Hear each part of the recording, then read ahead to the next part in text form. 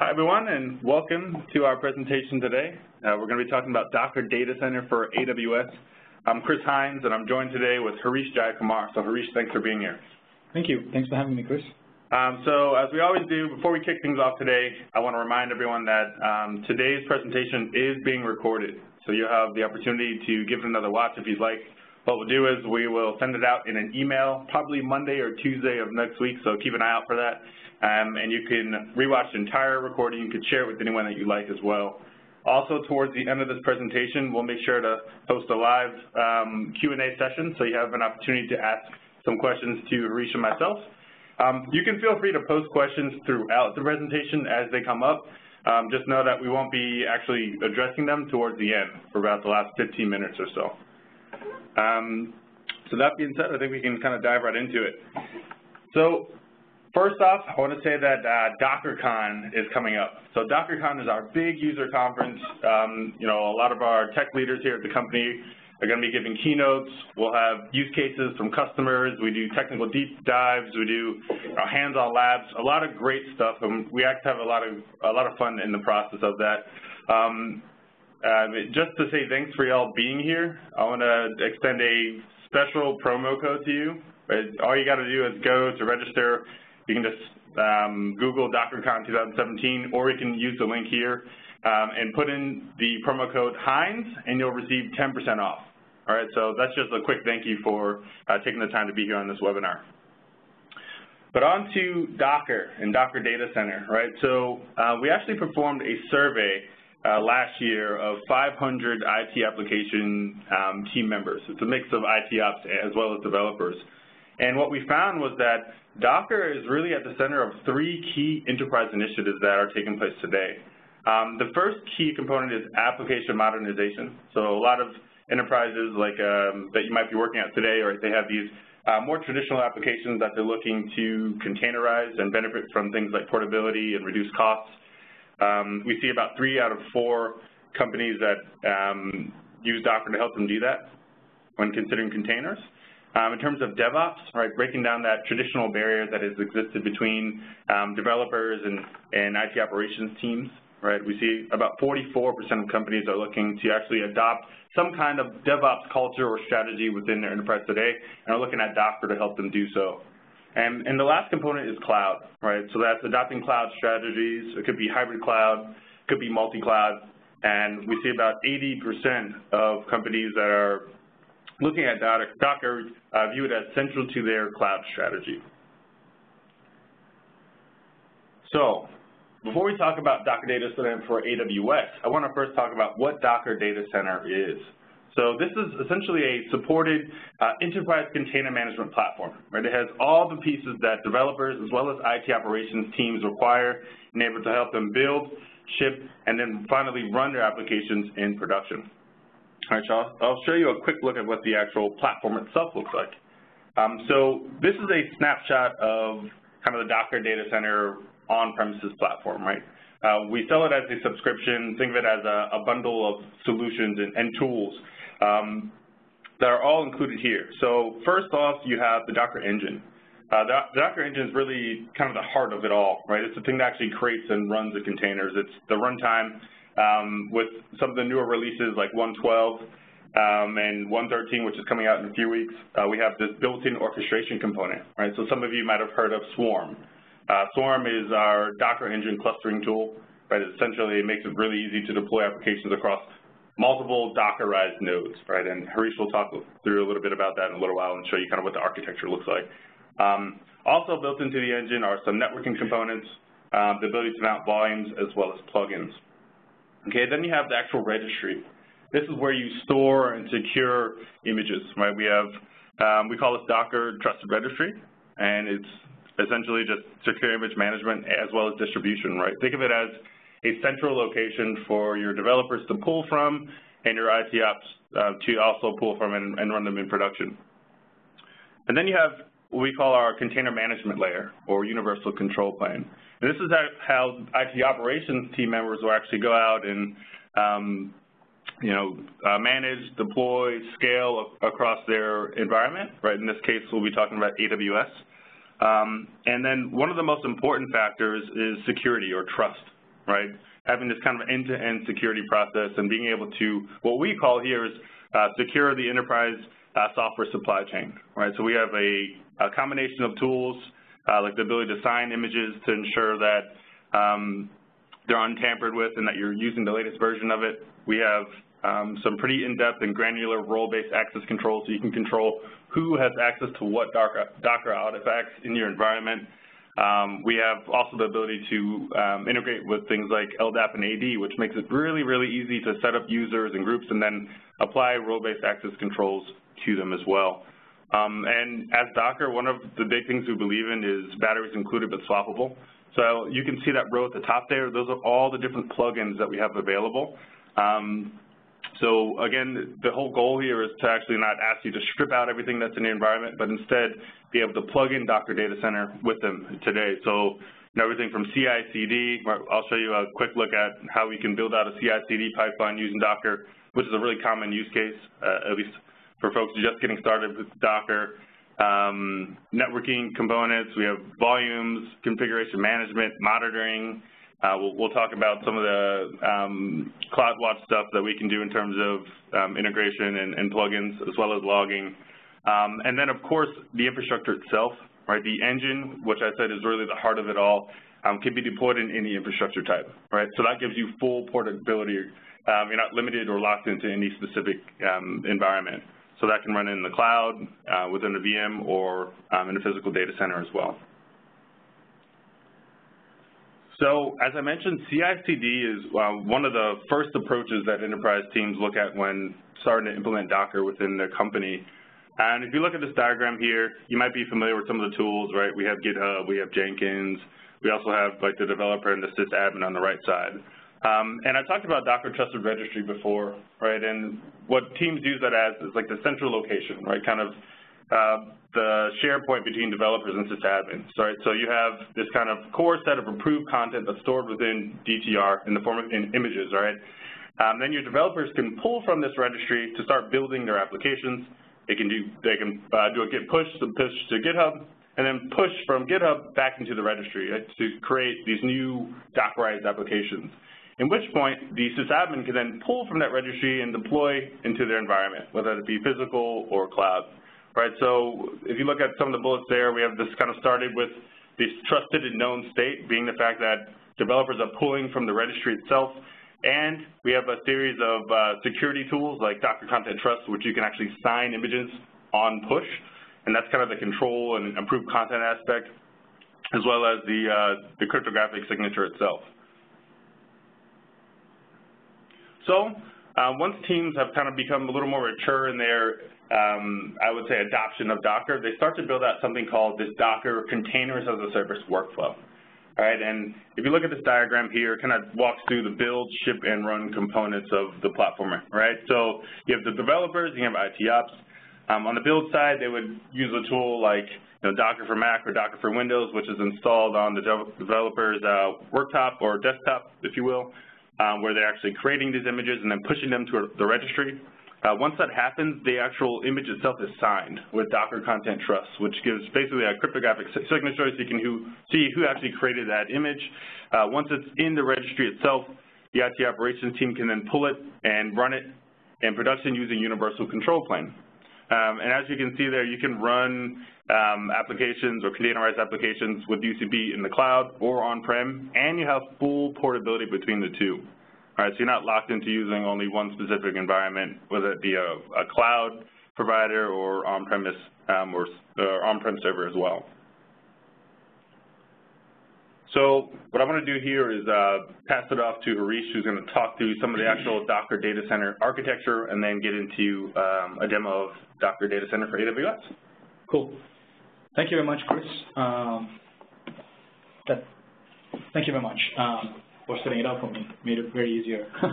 uh, so, hello everybody, um, uh, I'm Harish, uh, the solutions engineer. So what we'll continue with from where, uh, what we'll continue with from where uh, Chris mentioned is the actual Docker data center architecture. So Chris talked about UCP and DTR, right? So the UCP, think of it as your orchestration layer uh, built on top of Docker Swarm, the open source component. And DTR is the uh, place where you actually store your images, right? So basically, let's talk about UCP first. UCP, it's a simple, uh, it works with a manager and worker, right? So master-slave model. So in this picture, you can see I have three managers, um, and that's because I've set it up for high availability, right? And then, so if one of the managers goes down, the cluster is still healthy, can recover, and uh, make sure the cluster is up and running. Then workers, totally up to you. It depends upon uh, how many of workers you want to be able to have, right? Uh, so what is the requirement for this? Uh, we don't care if it is a physical server or if it is a VM. As long as there's a Docker engine installed on it, it will work, right? Obviously, this uh, we are restricting here our conversations with respect to Amazon, but I'm just telling you the flexibility of that is something you can use even outside of Amazon. Really don't care where you're running the nodes on.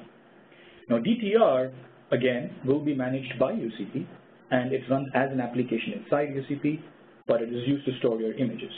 So if you guys are familiar with what Docker Hub does, which is you know repositories, teams, storing images there, that's what Docker uh, Trusted Registry does, but it's an on-prem version, as in like it's a private, your own repository that you can use. Um, when I say on-prem, it doesn't actually mean that it has to be inside your physical data center. So for example, Amazon, you're having your own private cloud, and you can host it there too. So that's the Docker data center architecture. And as you can see, it's a very pluggable architecture, right? So you can use whatever components you already have for logging to be able to use with it. You can use whatever monitoring. You can, it has integration with Directory. Uh, you can have external CA if you want to be able to use. All that can be used as well. So that's the whole idea with respect to Docker is basically the battery is included but swappable, which is basically says, hey, we are going to give you some components and tell you what is going to be the right way to do it. But if you want to use something outside of it, you should be able to plug in and be able to use it. So here you can see as an administrator, you can log in and manage the entire cluster using the UCP manager, and you can also push and pull images into uh, Docker Trusted Registry. Cool. So what is the easiest way for AWS to get started with Docker Data Center is um, to use full Docker Data Center platform with your AWS environment. As you guys saw in the picture above, you saw how many things you actually had to do right? Uh, so you had to go set it up on your own. You have to spin up those nodes. You have to install the Docker engine and have it all running on Amazon. Um, it's, it's still easier, but what we thought would be easier is for people to get started is actually have an even easier way, a simple click-through, three or four clicks, and you should have a cluster up and running, right? And that's what Docker Data Center for AWS does. So let's talk about the architecture. So what we're going to do now is we're actually going to go spin up an entire Docker data center cluster, right? Uh, which is going to consist of three UCPs, or how many ever UCPs you're going to ask it to do. It needs to be either three for HA, you're going to configure it in HA, then it's going to set up the worker nodes, uh, it's going to configure to belong in Amazon CloudWatch. It's also going to be able to have your DTR set with an S3 uh, bucket in the backend. So basically the way we do this is we're going to create one whole VPC and we're going to have two availability zones across which we're going to distribute the masters. That way, if one of them goes down, you still have the cluster up and healthy and up and running, right? Then we're going to configure a UCP load balancer in front of these managers, so you can load balance these nodes. We're also going to configure a DTR ELB for uh, to make sure that your DTR, which follows the same principle for high availability, can also be configured with a load balancer. And we're also going to configure a worker load balancer for the workers. So you have three load balancers, two availability zones, one VPC, um, and that's uh, and then you're going to configure it with logging and S3 bucket. But this, if you have to go do it, it's probably going to take you about 30 to 40 steps to do each of the individual things and go do it. So we've created a CloudFormation template, which will actually go do this all in just four or five clicks. And that's the demo which I'm going to be showing you right now. So Harish, let me share my screen with you so you can uh, get into your demo here. So stop sharing this, pass you the ball, and you have the rights now. Cool. And, and just in case, if you hear something in the background, we're getting some remodels done here at the Docker headquarters in San Francisco. So I apologize in advance for any crazy sounds or loud knocking, banging sounds you hear. Um, actually, it's uh, it's all good. Thanks, Chris. So um, this is the architecture um, that we talked about and the cluster that we're actually going to be going and, spinning right now. Um, so uh, this uh, we'll actually share all these links at the end of the we'll share all these links at the end of the meeting. Um, but this is the architecture that we shared right now. So you pretty much want to go. There's a launch stack over here. So we're going to start with that. So it's actually going to take you to the CloudFormation template. So you can see um, that's the URL to actually go spin up the cluster. Um, then next. So let's webinar. So number of swarm managers. So what is this is basically number of UCP managers is what's being asked here.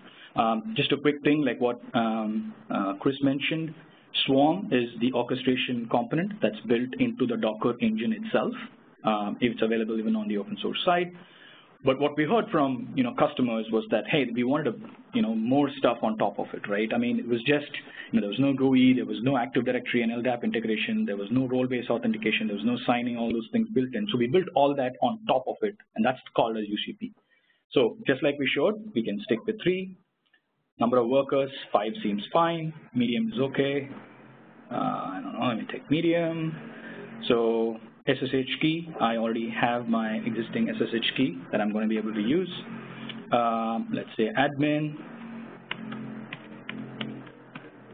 SWORD, right? And now Docker Data Center license. So uh, how do you get the license? You can actually go to Docker Store over here. And um, if you type, there's you know store.docker.com, and if you actually type Docker Data Center, this page comes up. Um, once you fill this, you're going to get a free license uh, to be using for 30 days for which you can try. I have already uh, kind of done that. So that's my, you can see I just downloaded the license here. So I'm opening up the license. It's, it's a simple JSON file. So I'm just going to copy paste it.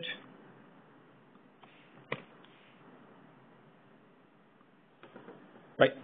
Um, key doesn't matter. Harish, say webinar um, IAM rule. If you have a specific IAM rule you have created only for the CloudFormation templates, you can absolutely use that. Mine is created as a simple IAM rule with my privileges um, uh, for the uh, uh, AWS itself, so I'm just going to use that one. And it's just asking me for confirmation. Yes, I acknowledge it. And boom. That's it, right? So now it's actually going and it's actually creating the webinar, uh, sorry, it's actually creating an entire cluster, creating those VPCs, creating those availability zones, creating those load balancers, creating the security groups, creating all that out of the box uh, with just those um, things that we actually filled. So let's quick refresh. Uh,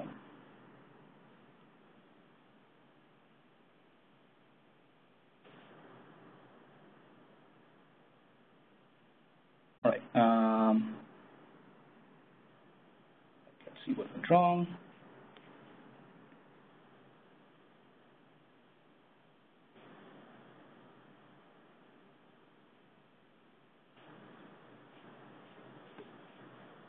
So we can just create this. So either the permissions for me have changed or we've updated this one. But that's pretty much the progress you will actually have to do to go create the instance. So what I did is I'm going to bring up the instance that I just created uh, now, the same path that I went through, and we'll come back and look at it. So what it does is at the end of this, when it's fully completed, you will see this. So now it's actually gone and it's created this entire thing. So you can see it created the load balancer. This is the steps it went through. So let's let's walk through this and see what it actually did. So now what it actually did is it went, it created the UCP, it created the DTR, and then there you go. It tells me that's my UCP URL, that's my DTR URL, username. So let's log into my UCP first. There you go. So obviously I, I logged in before, so it's telling me that, uh, you know, basically since I've already logged in, it's showing me that. And now I can also log into my DTR. It's coming up. obviously, since I just set it up, uh, it does this. So now let's take a look at this, right? So this is my UCP. It came up just, I all I had to do was spin up those four or five components and it went and spun it up. So let's, this is basically UCP, which is Universal Control Plane. Uh, this is built on top of Docker Swarm, and it has all those capabilities that's built into it. So as you can see, um, you know, it's a clean, simple interface. It shows you everything and anything that's happening in the cluster, right? It tells me the usage of my nodes. Node is nothing but the, the services, um, which is basically nothing but a VM or a physical server uh, over which you've installed the engine. In my case, obviously, these are EC2 instances. Tells me all the services that are running, all the containers that are running on this, right? Uh, if you go to resources, it tells me how many, what, what are my services that are running, what containers, images, nodes, um, everything about the cluster, right? So what is the service? Um, so starting engine 112, we have created a layer uh, of abstraction above containers, right? Because containers, yes, they're very good, but um, nobody wants to actually deal with them on an independent container basis. Logically, you think about it, you deal with a group of containers, right? And that's why we created the concept of a service. So for example, I can go click create service. Let's call it uh, test. Uh, like Redis. Now you can actually say how many of those services you want. So it's either one or you can say two services of that. So it's actually going to go create two containers in the backend called Harish test made of uh, the image from Redis. You can use any publish um, labels. I'm going to skip these. Now, this page is basically for uh, scheduling, right? Now, this becomes really important when you're doing things like rolling update. Now, say suppose, so obviously I'm going to spin up two instances right now. Now, say suppose I had 10 instances. Now, of those 10 instances, I want to be able to go uh, and update them, say, I don't know, uh, three nodes at a time with a delay of four seconds. Now, what will this do? What this will do is it will update first three containers, wait for four seconds, then update the next three one, wait for four seconds, then update the next three one on this. So this becomes really important when you're doing something like a rolling update or something. So very, very comes very useful according to it. Now, what is constraints? Constraints is when you can actually specify things on where you want to schedule these containers. So I can actually say that, hey, I specifically want it on these instances alone. I want it to be only on these uh, nodes. I'm going to start using the word node instead of instances to make keep it general so you can just understand the concept, but, but you guys get it. I wanted, for example, if I have a constraint I've added on a node which says, okay, I have a node only made up of SSD drives, you can add the constraint to say, okay, throw it only onto that node and UCP will do it for you, right? Then you have any ports you want to be able to publish. Here you can actually go specify how much CPU memory limitations you want to be able to set on it. And then you can actually go add any labels or add any environment variables. Okay, I'm going to keep it simple for now and simply do a deploy now. As you can see, it automatically went and created that service. Um, showing red because obviously it's taking time for both the containers to get spun up. So once that finishes, it'll, it'll go back to, uh, it'll become green. We'll, we'll come back there. Um, so this tells you over here now, we're going into the containers page, which is going to tell you all the containers that are there. So as you can see here, these are all the containers that are spun up. Each of them is an individual container. Obviously, these were containers that were created because we just kicked off the CloudFormation template. But if you have an application running, it'll probably have your application containers that are up and running over there, right? Um, then you go to logs. It tells you all the logs that are available for the container. Stats. It tells you how much CPU memory utilization is going on in that specific container. And then you click on console. Now, this is really cool. You can actually go and you see there, you can, you're actually into the container right now. Um, so for people who are actually familiar with the CLI and, and the, um, in the container world, you can actually understand that this is uh, what you do when you do like a Docker exec, right? You, when you do a Docker exec on a container and you, you know, throw, in a, throw in a shell prompt on it, you can actually get into the container and that's what this is actually showing. Uh, so I'm disconnecting for now on this one. Let's go back over here. Uh, there you go. You see there, our two services just came up um, and they're healthy and running. Now, you also have the concept of scaling over here, so I can actually go schedule, and I can say, okay, you know what, I probably need four instances of this, so I'm just going to scale it up over here, um, and then it's going to get more. So it's going to say save, and then you can say that it's updating the service, and you can actually have uh, four uh, services up and running. While this is coming up, um, because this is um, based on the template, I wanted to also show, uh, talk about some of the cool things. We, I'm going to kind of shift gears just to talk a little bit on some of the cool things that you can actually do over here. Now, this is the template you've already done, right? It barely took 10 to 15 minutes to have this entire thing up and running. Now, what's actually happening is is also connected to uh, to uh, so the, the, big question I kept getting asking is okay, does this auto scale with respect to ASGs, right? Amazon scaling groups. Absolutely yes. So we have separate um, um, scaling groups for the workers and for the master as well. So you can actually go to the scaling group for your workers and you can increase the number of nodes if you want to, or you can actually even go here and from here, you can actually even do an update of the stack, right? So you can say you can create the change set or you can do an update stack over here. That's fine. Just use the current template. All the things remain as is, right? I want to remain my password. And then here I am, I'm keeping all these things specifically, right? So here, we have three nodes and seven, right? Now say suppose we want to increase this to nine. That's it.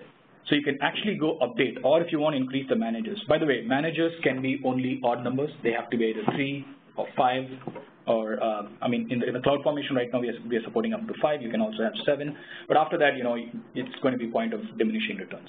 So you can actually update it to nine, and then that's it. When you keep going, two nodes are going to come up uh, automatically, and everything is going to be configured for you. So this is a very, very flexible uh, thing for you to be able to go use it, right? Now you can also, if you want SSH to the nodes, um, what we do is we, you can actually SSH into the actual master. So if you actually want to go see what's happening, just to show you. By the way, that's the um, IP of the instance. I can show you if you don't see that. Because we did that, it went and spun up all those instances. So I just to save time, I had the IP of the master up and ready. Uh, so I'm actually logging into the master now, right? That's the manager. So we're going to log into that guy. Right, so you can see here I used the key that I used, and now I'm actually into the master. And now if I actually do a docker ps, you can actually see all the containers that were involved in making. This is all that happened in the background. The bootstrapper got, actually, I keep getting, uh, yeah, I think that should be able to see. So I've done right now is I've actually SSH to the actual master and I can see all the containers that are running. So now if you want to have, obviously, I'm an administrator and I've done that. Uh, you cannot directly SSH to the worker nodes in case of this. That's how we've set it up. Um, it's just a security practice that we're following. Uh, what you can do though is you can SSH to the master and from the master you can actually SSH to the actual uh, uh, worker nodes. So that's some background on the setup that we've done in the, in, in the backend. Uh, let's go back to UCP over here, right? Um, so we had nodes here, and the nodes have been, so shows all the seven nodes. Obviously, I didn't click accept over there, um, but you know all the nodes over here are listed over here. So you can go into each individual node as well, and it tells you everything that's happening with respect to that node. So you can see here it says it's a healthy worker, sans how much CPU it's using. Uh, that's the version of the Docker engine that's being used uh, what are the tasks that are running on that, and any logs which are associated with that as well, right? Uh, so uh, then obviously networks. So uh, with Docker, you have the concept of overlay network, um, which is, is, super powerful when you're writing applications and you want to configure your network. So obviously the same concept of networking, overlay network basically means we don't care what the underlying network is. So you can see here internally in our product itself, we're creating an overlay network over here, and some of the bridge networks are also going to be used over here, right? Now application, for example, you can actually simply even go deploy uh, applications over here like a compose file. So everybody knows compose, so you can actually drop in a compose file as is, and you can have an application that's deployed over here, right? Um, so the other thing I really wanted to kind of point out is the concept of UCP bundle right? This is super cool, by the way. Um, so here is a client bundle. So one of the big feedbacks that we kept we got was, um, hey, uh, the biggest challenge when it comes to you know using stuff with customers is I'm an administrator. I am giving some uh, privileges to my uh, to my internal customers or external customers. Um, how do we handle this whole key management, right? I create these keys. I got to transfer these keys. He has to throw those keys. He has to have, make sure he has to trust it and stuff. So we made it very very simple. Obviously, I've logged in as an administrator, but you know, I, um, uh, I should show you this before I jump onto that. You can create multiple users. See, there's read-only users, read-write users, or you can also integrate them to your Active Directory and LDAP inside your organization, so you can pull the users right from there, right? So for each user, this client bundle that's created, when they log in and they go here and they download this client bundle, it's going to be a different bundle that, that gets created. So I've already downloaded this for this webinar, and I'm going to show you what are the contents of that. Uh, if you see here, where did I have that? Actually, we can exit this. Okay, should be able to see my screen. Um, so you see this, that is the bundle. As you can see, I downloaded from the Docker Data Center one. Um, I unzipped it, right? And then these are the components that it actually generated. So all these, other than the key, uh, other than harish.pem, which was my SSH key, these are all the keys that it generated. So the cert.pem, the cert.pem, all those things have been connected, right? So what I'm going to do now is a simple Now I've basically ported the, oh, uh, I think this will help you guys. So here's what it actually goes and does, right? So it's basically setting up your TLS, uh, exporting the certificates, and then configuring your client to talk to the actual node, right? So once you do that, if I do a Docker PS now, you're actually talking and it's actually telling you, uh, by the way, remember now we are outside of the SSH, right? I'm, I'm, a simple client, and depending on the privileges that I have, I can see everything over there. So I know I, showed you guys like a simple provision using um, using the CLI, uh, sorry, using the web GUI. Uh, for people who also want to use the CLI, you can. So for example, you can do a simple, the same service that we created over here, Again, I'm copy pasting just to save time. So all that I'm doing is pretty much what I showed you guys on the GUI, right? Docker service create, I'm calling it demo, I'm exposing it on these ports. That's the name of the image. And so now if you do a Docker service ls, it tells you the services that have been created for the specific node. So you guys remember this one, this is what we created, and then there is a demo um, that we've actually created on well. So let's actually go back to the GUI, and you should see that under services. See, it's uh, coming up right now while we spin through this. Uh, and then once it's ready, you can actually go launch it, and you'll have the component up and ready on this. Cool. So that's um, so that's the things with respect to uh, the uh, with respect to services. Uh, now let's talk about uh, some of the, uh, see what happened here.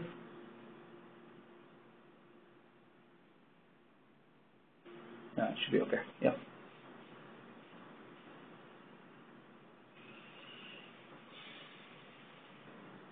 Okay, so next thing is we, let's go and talk in something about the admin settings, right? Now I'm wearing the hat of an administrator over here. Uh, it tells you all the certificates uh, that you want to be able to use. Obviously, that it comes with a built-in CA, but you can also use an external CA if you want.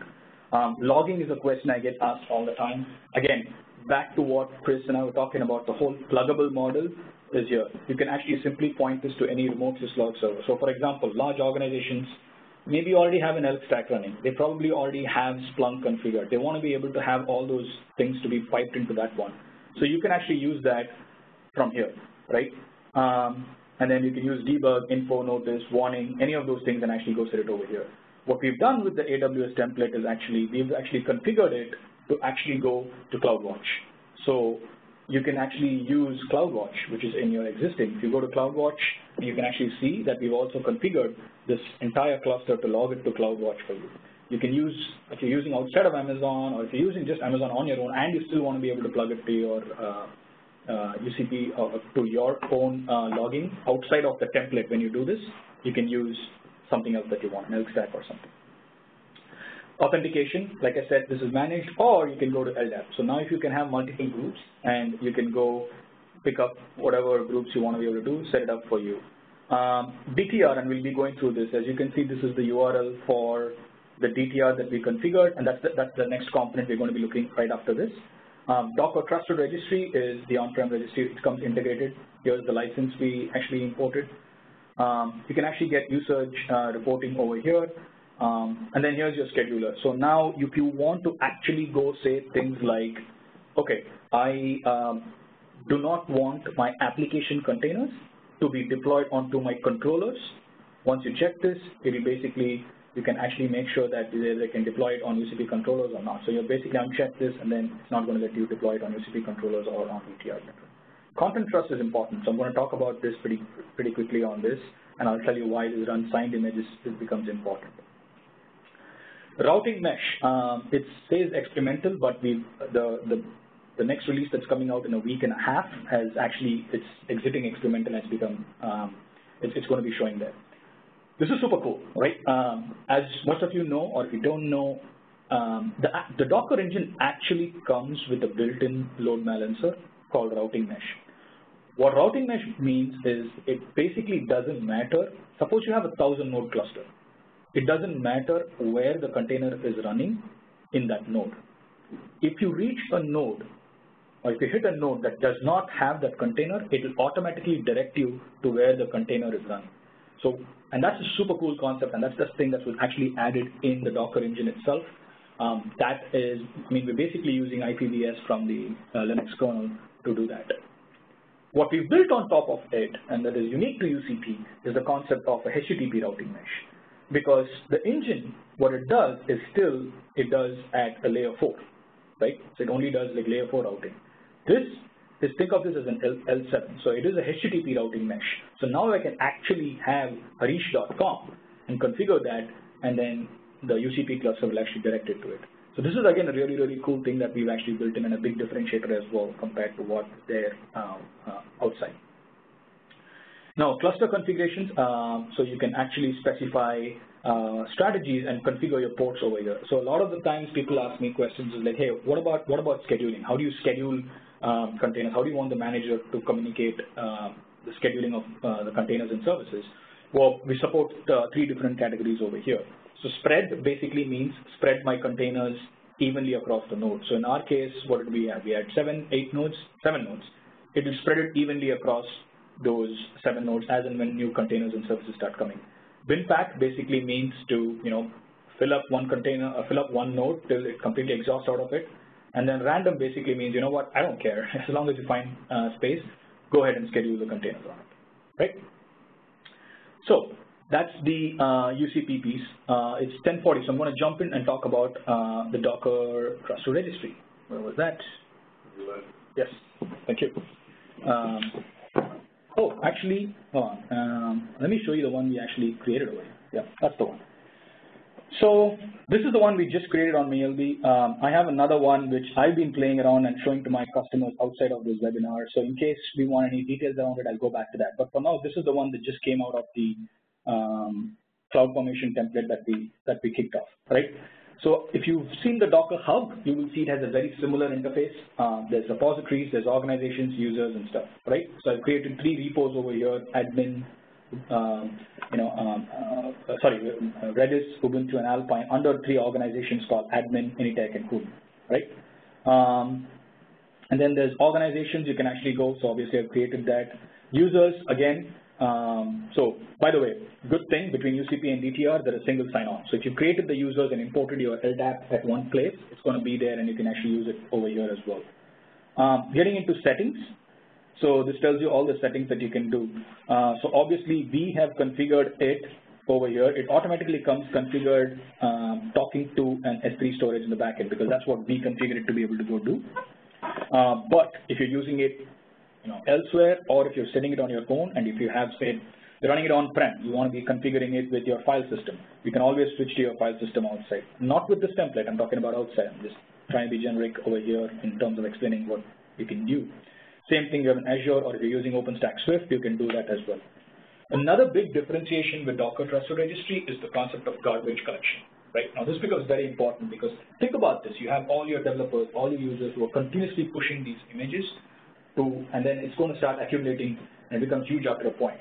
So you can actually configure for garbage collection, which basically means now you simply you can set up a, uh, you know, however you want to be able to do it, right? You can set it up for a simple cron, for example. Now if I set it up as, so now it's going to run every midnight, and it's actually going to go and it's going to go clean up those images which are there in the registry. So this becomes very, very important as well. So again, um, key features, garbage collection, high availability, and, and, to top it off, the best one is the security story, which is Notary and image signing. Now this is a feature that I personally, personally am very, very fond of and I really love it, is the concept of image signing. Um, what does that mean? Basically for security, it's a huge thing, right? What it does is now I'm a developer, I can sign an image and I can push it to the Docker Trusted Registry. And then you can make sure that only signed images can run inside your entire organization. So this becomes very, very important because now you can actually make sure that somebody's just not pulling an image from Docker Hub and you know, whatever image, because you don't know what's out there, right? You can say for your organization, you can tag as a signed image, and you can say, I only want signed images to be running inside my organization. Now, I'm going to switch to UCP real quick just for that to show you how you do that is what we were talking about is over here. Now, once you check this, only signed images are going to become run, right? Now, what are all the advantages of using signing, right? First, you can actually have things like image provenance. So I can actually say things like, sorry, I can actually say things like, if a developer has not signed it, don't run it in test. If a developer and test have not signed it, don't run it in pre-prod. If developer, test, and pre-prod have not signed it, don't run it in production. So you can actually configure that entire thing for, um, for your signing, and you can make that work. The second thing is it also prevents under, you know, uh, freshness of the image. So, Harish, I've created an image and I've pushed it, right? Now you're pulling that, now Chris is actually uh, pulling that image. He can verify first that it is actually an image that was created by Harish and not by anybody else. So it's actually going to prevent, uh, prevent against a man-in-the-middle attack. The second thing it's also going to prevent is timestamp, right? What if somebody took an image that Harish created, say, two and a half to three years back? They could use that too. So it also guarantees the freshness of that image, right?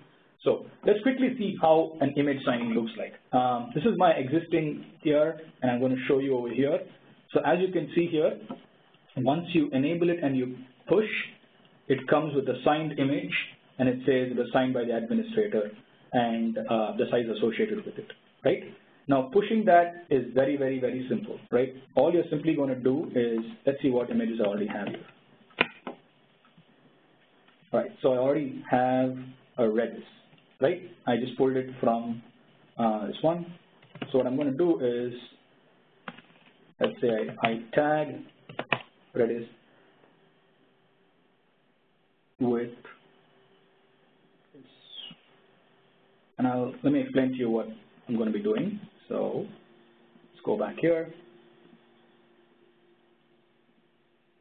So when you actually tag stuff, how do you do it? Um, you're actually going to be using the name of the DTR.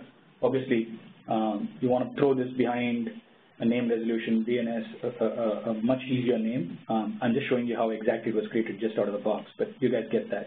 So what? So I'm going to show you in parallel what's, what I'm doing, right? So I'm taking a Redis image and I'm tagging it and I am pushing it. So I'm basically going to tag that image with the name of the repository, the name of the organization or the individual, which is admin. So this could have been Initech Ubuntu if I'm using an Ubuntu image, but you guys get the point. Right, so I've tagged it. And now I'm going to do, actually let's make this faster. I'm actually going to push this image. So what's actually doing now is actually pushing this image to the Docker Trusted Registry, right? So once it pushes to the Docker Trusted Registry, now it becomes, uh, again, for this to happen, um, just to let you know, you must have your client to have trusted the DTR. So I've done that process in trusting it. And once I've trusted it, um, you know, I should be a user to be able to go do this. So I'm an administrator and my node's being trusted, so it's actually going to be pushed, right? So now if you go back here, go to this, it should show that it just says that was a few seconds ago created by admin. So now we're actually starting with a known state of this. Now, say suppose, and this is the key, right?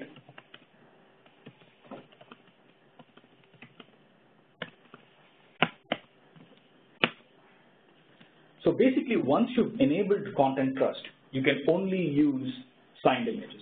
So let's try to, I mean, basically we just pushed an image now, which means we should have been able to pull it if we didn't do this, right? Previously you could have been able to pull it. But now that we've signed the image, and as in what we have done is we have enabled Docker Content Trust. And if you try pulling that same image, it should fail. Right? You see that? Error contacting notary server, this thing. And that's, and that's the thing, right? So now you actually prevented being unsigned images being inside your entire organization. So now the same thing, but in the interest of I'm not going to show that is basically if you had done this and then you had tagged it and pushed it, it would have actually asked you for keys to be able to go do it. And then that one, you will be able to actually push it. Actually, how much time do we have? Let's see if we can. So, some responding to some questions, just because I know we're going to run out of time here. Okay. Keep going.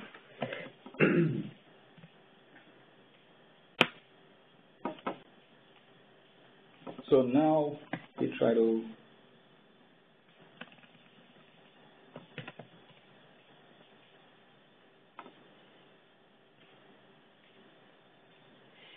Yeah, so now it's actually signing and doing because the trust data was already there right? So that's how you can actually enable to make sure that only signed images can exist in your in your organization and not uh, use it anywhere else. So signing becomes a very very important thing. One of the things um, that uh, people actually use this for is, for example, your CI/CD pipeline, which uh, uh, Chris Chris talked about uh, in in in the beginning, right? Is basically you can have that entire thing of signing as part of your CI/CD pipeline configured in your build server with Jenkins and configured with your DTR and UCP. So you can make sure that through the entire flow, you can actually verify that those signing happens before it actually gets pushed. So we talked about signing, we talked about LDAP and Active Directory, we talked about garbage collection, and we talked about setting it up in HA. Um, similarly, that's the UCP cluster over here and every time you get a newer version, it tells you that the new one exists. I deliberately kept it so you guys can actually go see it. So that's uh, DDC for you. Um, and then coming back to our stack over here, as you guys can see, uh, go back to stacks. Um, anything else you want to tell? Cloudflare, uh, we talked about being able to SSH, and these are the things that it actually created. So you see here, um, just in terms of resources, just to let you know what actually creating it here, load balancers, and uh, creates individual subnets. It creates a, a, separate VPC for this and configures them on it. That's the load balancer, and uh, that's this one. Cool. We can take questions now. Yeah, sure. Um, do you have the ability to see some of the questions? I'm just going to sure. Let me let me one more slide and um, just yeah, I can bring up the questions on the side. Yeah. Uh, let me see.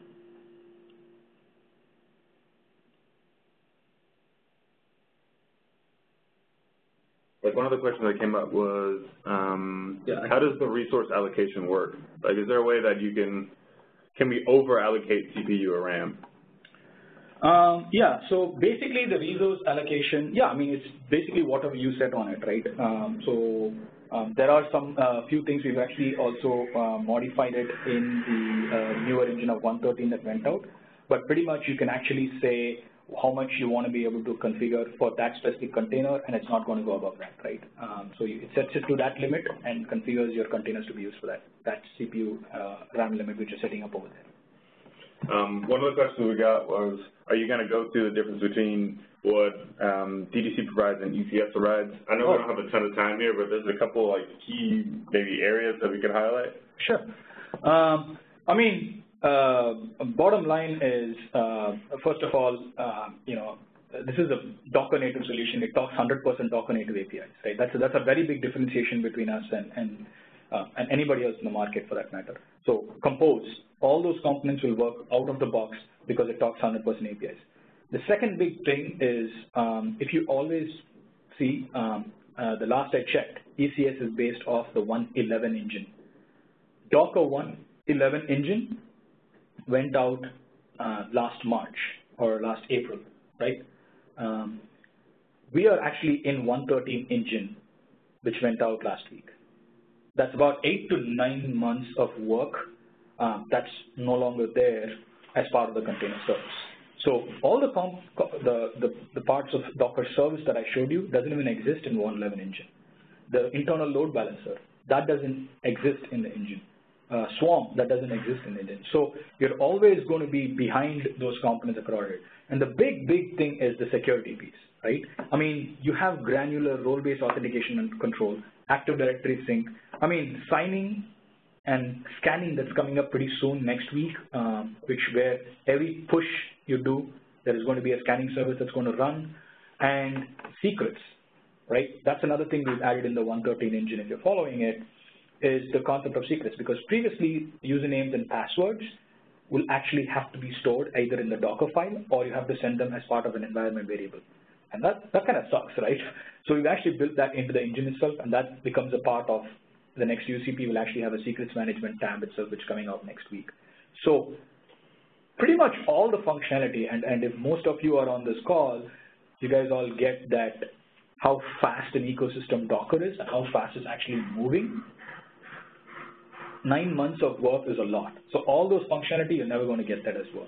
The third thing is ECS is very, very specific and restrictive only to Amazon right? Tomorrow, if you want to take your workloads out of Amazon and you want to put it somewhere else, I mean, if you have put your life on Amazon and everything is there and you're okay with a, a year or a year and a half of this, and the things like security and internal load balancer don't matter for you or something, yeah, I, I would say go ahead and try it out with, with uh, ECS. But if you build the application, you want to build it to be independent of any anything, right? You want to be independent of Amazon, you want to be independent of Azure, independent of OpenStack. You want to be able to move those images and those containers anywhere and everywhere you want. And that's where, you know, UCP and DTR come into the picture because like I showed you, all it cares about is a node. A node is a node, which is another VM or a physical server with running an engine. I could technically have another engine on um, Azure, I could have one on Google Cloud, and I could have one on Amazon, and I can create a cluster out of that. Or most of the time I'm seeing enterprises, they have a hybrid environment. They have a private data center. They also have uh, a few instances they're using up on Amazon which they want to be able to use. So they can actually go and get into it. Um, I know I've been, thank you, Harish, sure, sure, for that. Um, and we can take a couple more questions. I did get a question around the monthly pricing. So one of the questions was, is the 150 per month per instance, in the case of AWS, yes it is. Now we offer monthly as well as annual.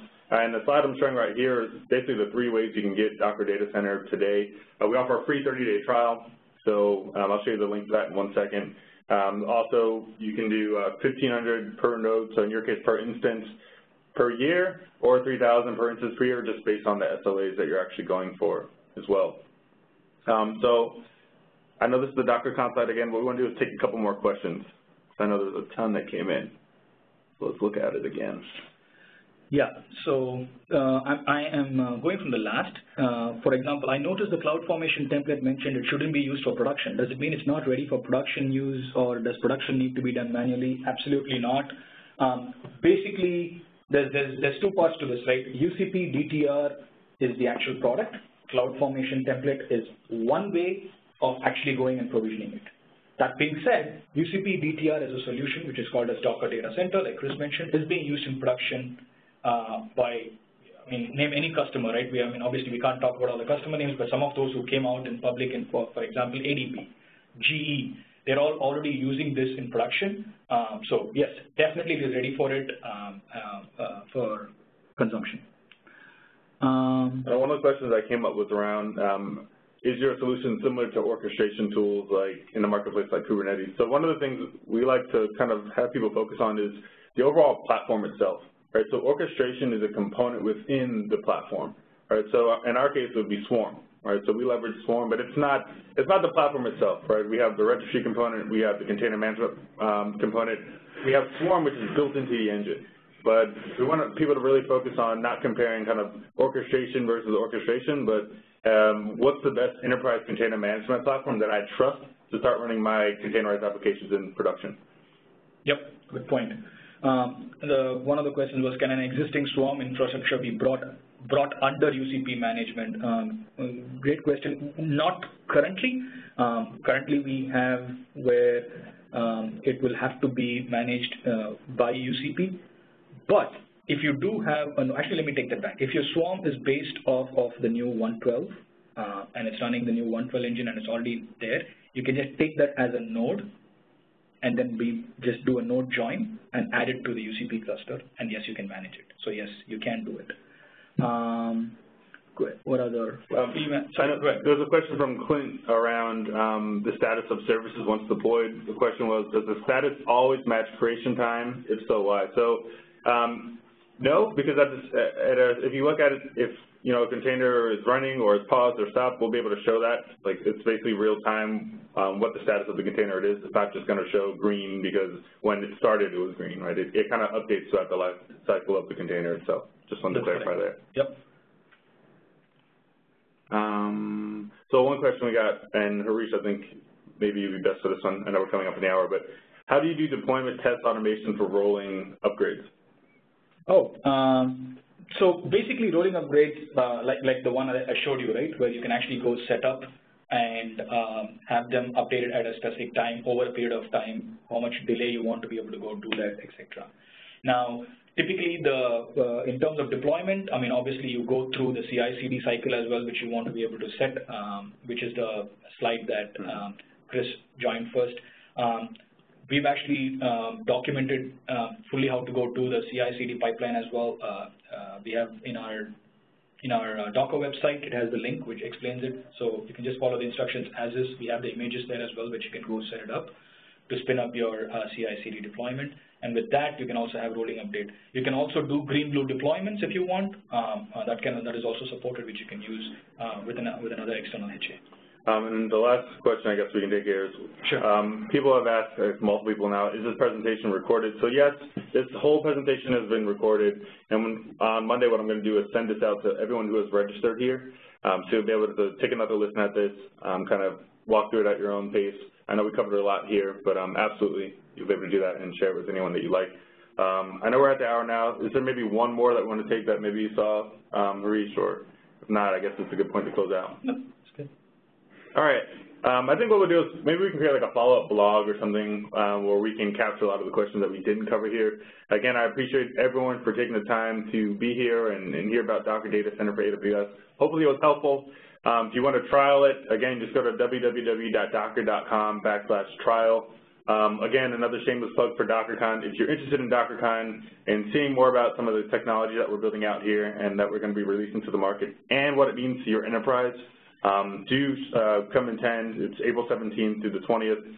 Again, uh, as a thank you for y'all being here, um, we're offering a 10% kind of off um, coupon for the early bird special. So it's cheap already or cheaper already, and it will be even more cheaper with uh, the promo code, which is HIND. So again, thank you. We highly recommend you go out and try out Docker Data Center for AWS. Um, we're here if you have any more questions, and keep an eye out for um, all of the recording and, and email that comes out on Monday or Tuesday. So thank you, Harish, as well, for being here. Yep. Thank you very much, Chris, and thank you all for joining. Um, yeah, like you said, we have it all. We appreciate it. Thank you, everyone in the audience. Um, appreciate the love. Have a great day.